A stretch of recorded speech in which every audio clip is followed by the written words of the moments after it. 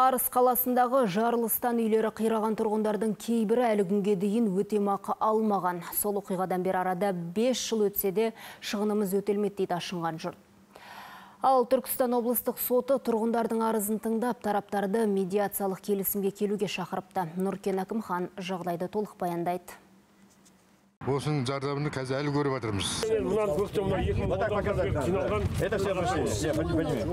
Мынаны көктем мына 2019 жиналған. Это все пошли, я понимаю. 2019 жылы Арыста болған жарылыс бүкіл Қазақстанды дүрсіл күндірген еді. Алайда арада 5 жыл өтсе де 30-ға жуық тұрғынның бүлінген мүлкі бүтінделмеген тіпті.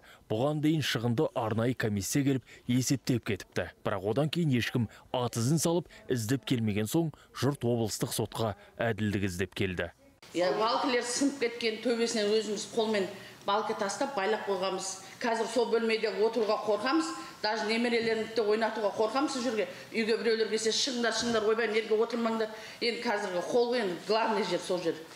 Төбе түсіп кетеді үйтеді бүйтеді деп сол қорқамыз да отырамыз. Өңкей қорқынышпен үреймен келе жатырмыз негізінде. Тұрғындар қираған мүлкін өздігінше жөндеп алуға қалта көтермейтінін айтады. Себебі қазір құрылыс материалдарының бағасы шарықтап кеткен. Ал қорғаныс министрлігінің өкілдері медиациялық келісімге келуге ұсыныс білдіріпті. Шағымданушылар ведомствоның бұл уәжіне де келісіп отыр.